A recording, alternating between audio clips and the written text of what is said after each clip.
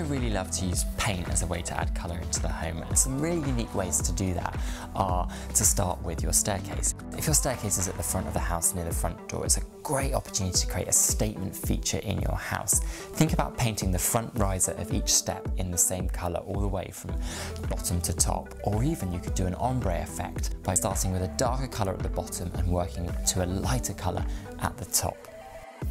Another way that you could add colour in an interesting way is to create an ombre effect on the wall behind the bed or behind the couch, any kind of hero piece of furniture in a space. So that means starting with the darker shade at the bottom of the wall and then adding more white paint into it as you work your way up. So it gently fades from dark to light, from bottom to top.